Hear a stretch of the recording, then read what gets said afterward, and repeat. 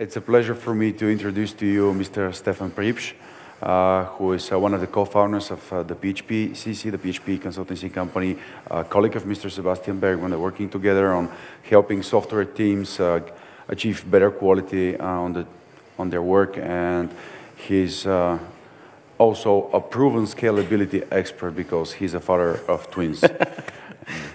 so, your applause for Mr. Stefan Priebsch, please.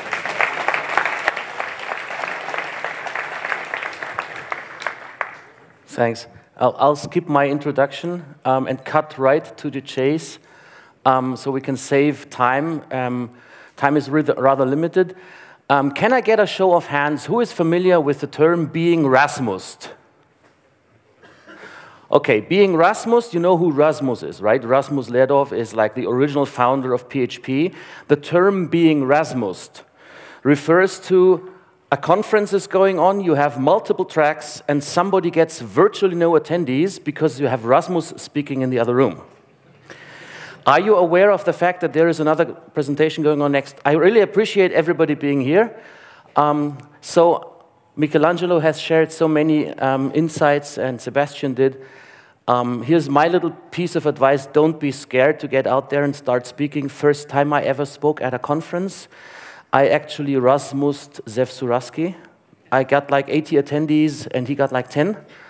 And first time I ever spoke at an international conference, I think that was ZendCon whenever. I was being Rasmused by Yahoo throwing a party the night before, and I had the first slot, so basically I had nobody show up. Um, can happen to anybody, and really, really depends on a lot of circumstances, right? Okay, we'll skip that. Um, I'm the guy who gets randomly quoted in other people's presentations, and we'll cut right to the chase. Um, I usually, I, I, did that presentation before at a user group in Munich, which originally uh, sort of brought material from two presentations I had given before together. And as I was listening to Michelangelo's keynote and Sebastian's talk earlier today, I figured that the presentation is not right for the conference, so I rewrote it. And I typed the code examples right there into the presentation, and I'm sure I have left a few syntax errors for you to discover. So who is familiar with the term or the concept of MVC? Okay, I mean, that's pretty much everybody. Um, and you all have seen that. By the way, that's wrong. Um, because they have one arrow pointing in the wrong direction, but I'm completely incapable of using graphics software, so I tend to steal those things from the, from the net somewhere. Um, this is what MVC is all about, and I'm going to make that very, very short, right? It's a UI pattern, and its purpose is you have a UI, you have the same information in multiple places in different visual representations, right? So that number there, the revenue, you have it up here, and you have it, well, it's probably that one, right? Um, how are you going to implement code that makes sure that those multiple views on the same data keep in sync? This is what MVC back in the 70s was originally designed for. Now, um, I like to quote Martin Fowler, and he's a bit confused about people using MVC as a UI pattern. And he says, well, basically, I don't know what people are doing, but sometimes it may even be MVC. The problem, and he is talking about UI patterns, the, the problem with uh, writing PHP software for the web, that's not the UI you are writing. Okay, so MVC on the web, that's really a whole different story. Because if we go back to this, the, the meaning of that is, okay, we have a controller that observes the view. The view is a GUI component. And if somebody changes data there, the controller gets notified and makes a decision to update the model, which is that error right here. And the model then is being observed by the view, and the view pulls data from the model because the model has said the views, hey, I've changed, so the views pull the state from the model. That's very, very short, and I'm, I'm sure you all have heard that. The, the cool thing is it totally does not apply to the web, right? Because on the web, the view is remote. We have a system boundary right here. So all those two subject-observer relationships from a technology point of view don't work in the first place. But the good news is the problem that MVC solves, which is synchronizing multiple views on the same data, we don't have that problem in the first place. No web application has this problem because you're just creating one page. So without going into depth, this is what you have to ask your favorite search engine for. I have given um, a bunch of presentations on that topic. And if you're interested in finding out more, this is what you need to search for, and it's going to come up with a bunch of material and presentations. Um, I've, I think two or three years ago, I gave a keynote at some conference where I had actually written an MVC play and had people on stage to act out MVC as a pattern, and there's a video on that on the, on the web, so if you're, um, if you're interested, you can find that and have a look at that. So, who's familiar with the term solid? Okay. So schoolbook definition of solid, drawn from Wikipedia, as all good developers draw their schoolbook definitions from. Um, basically, if you stick to a couple of principles, solid is an acronym, right? Uh, it represents five principles. If you stick to those five principles, your code is going to be maintainable, which implies that if you do not stick to solid, your code is not going to be maintainable. And this is a big problem for a lot of teams and companies dealing with outrageous numbers of lines of legacy code. It's not maintainable. And mind you, there is a difference between maintainable and extensible, right? Extensible means I can add new functionality. That's relatively easy to do, even with crappy code, because you can always do that in a decent fashion. Not a lot of people do, but you could. Um, changing it is harder. If your company's business changes, you need to adapt code to changing business needs, and the code is hard to maintain, it's hard to change.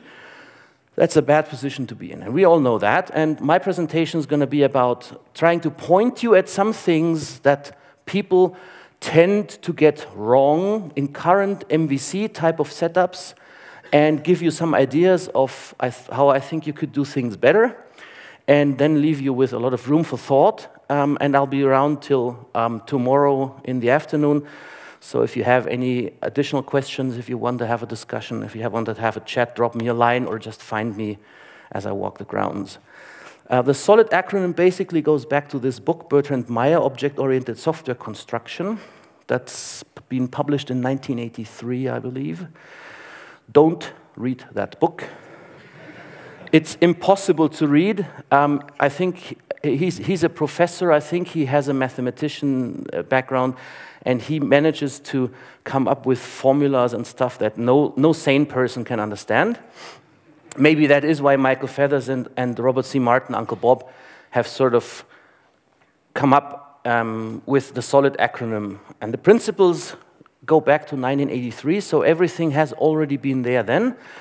And us developers did a really, really, really, really great job in forgetting all that. So we have to relearn. Solid. Those are the five principles. I'll just go over them briefly. Um, um, the focus of this talk is to see how those principles apply to MVC or where things that we commonly do violate those principles. And if you want to dig into those principles, it's going to take you um, quite some time to get warm with some of the principles. So single responsibility is pretty simple. It sort of ties into separation of concerns. Have one class do one thing. It sounds so, so simple, right? Another way of looking at that is how many reasons are there to change a piece of code? If there are two different reasons, obviously the, the code has two responsibilities. And if you separate them, you arrive we get closer to a design where, well, if I change this, this is the piece of code that I have to touch. If I change that, I have to touch another piece of code. But I'm limiting the possibility of side effects happening. The open-closed principle originally refers pretty much to compiled environments where you have a large monolithic binary end up on the server and you don't want to give companies that have bought your software potentially the, the, the, possibility to compile the software. So how could they possibly get extensions or adaptations into the software? So you need a kind of plug-in mechanism. And this is basically what open-close principle in essence states. You need this to be extensible. You don't want to recompile 10 million lines of code if you add one, right? With PHP, we don't really have that problem. That's one of the cool things about PHP. Still, we can apply the open-closed principle um, in a bit of a different way and look at how can we extend classes and um, how can we write code so in a way that it's easy and safe to extend classes, and how can we prevent people from screwing up as they extend our own classes. Um, we'll touch upon that a bit later. Liskov substitution principle, I think, is the, the most complicated one to really understand. Sometimes I'm not sure whether I have really fully understand it. The way I interpret it is, is in short, inheritance sucks. Okay? So there is a lot of problems potentially associated with the concept of inheritance. In fact, some people say you don't need inheritance. Some strict OOP proponents say, well, you, you just should extend from an abstract base class and never anything else. Whether you want to be that religious or not, sometimes it makes sense. Um, inheritance is a problematic concept. So what Liskov states basically is, if you write a class and you extend it, then the subclass must be substitutable for the base class. So you can't have less functionality. That also means you can't have new return types or new return values. So imagine you have a class that does something and it, throws, it never throws an exception. Never does. Now you create a subclass and this subclass throws an exception in a certain case. That's extending the API. That's an additional return value. And the code working with the subclass will not expect this exception because it was not part of the original contract with the class he was working with. So weird things might happen because the code calling that doesn't know how to deal with that exception. So that's a very, very short and concise uh, attempt at explaining the Liskov substitution principle. Interface segregation, that's a very interesting one. Clients should not be forced to depend upon interfaces that they do not use. That sort of translates into make your interfaces small. We'll get to that. Dependency inversion, to me, that's the most interesting and most important principle, and it's the least understood, I think. A lot of people say, okay, dependency inversion basically means dependency injection. Nope, that's not true. You will need dependency injection to achieve dependency inversion, but there's a lot more to dependency inversion.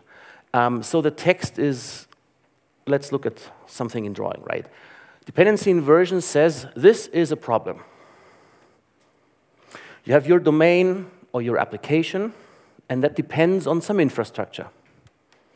You may think this is natural, but it's a problem, because now if the infrastructure changes, we have to make sure that our code still works.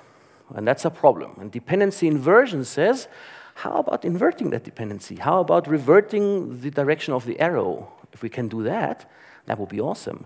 Because then our domain wouldn't even know that infrastructure exists. Thus, if we change the infrastructure, there is no way that could possibly influence our domain, the core of our application. And it turns out, and again, this is a very, very short and concise um, explanation, it turns out you can achieve this by defining an interface as part of your domain, defining an infrastructure, uh, and write an adapter that becomes part of the infrastructure that implements that interface. Suddenly, your domain does not know about the infrastructure anymore, but your infrastructure has a dependency on the domain. That's kind of cool. And we're going to have a code example for that later. So let's dig into code, right?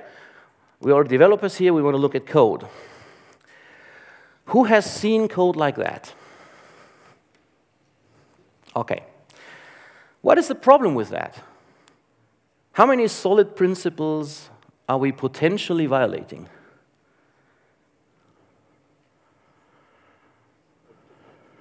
Up to five, that's a good one. Thank you. I haven't thought of that one. So it turns out that if you violate one of the solid principles, um, you probably also violate others. Single responsibility. How many reasons are there to change this controller? Well, if the creation needs to be done differently, that's one reason to change it. If deletion needs to be changed, that's another reason.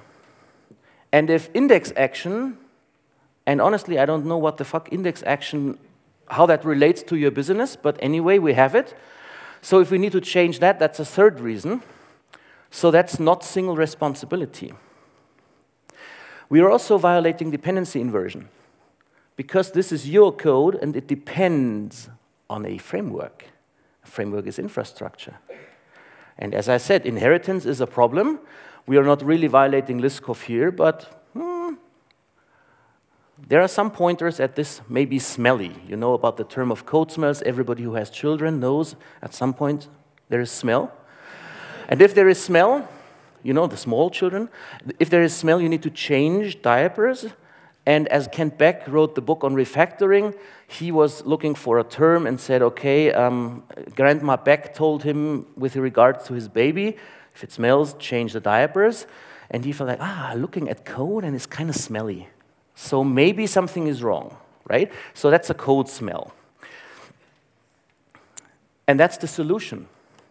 Break it down. Single responsibility. Have one action in each controller. Um, we can take this further. We're looking at that. Why would we have to name that index action and that create action if we have one action method in each controller in the first place? So we might actually have a common name for that, which would put us into the position of defining an interface. Now, this interface is not really meaningful to whatever you guys are doing, because if you talk to your customers, I'm sure that unless they are an accounting company, they really have no clue what a controller is. And, well, yeah, I'm, running the controller is like, uh, okay, you're executing code. Okay, you do that all day. So that really doesn't give me any information. So we might need to reconsider that name. Turns out that, well, maybe it's about processing an HTTP request, right? That's usually what the controller should do. It receives an HTTP request. It's sort of pretty far on the front end. And technically, it does input mapping. It converts the HTTP request to something which may be another type of request or just a method call on some business object. Some people like to call it a model that your application or domain can deal with. So technically, controllers are input mappers. With regard to single responsibility, that's a very interesting observation.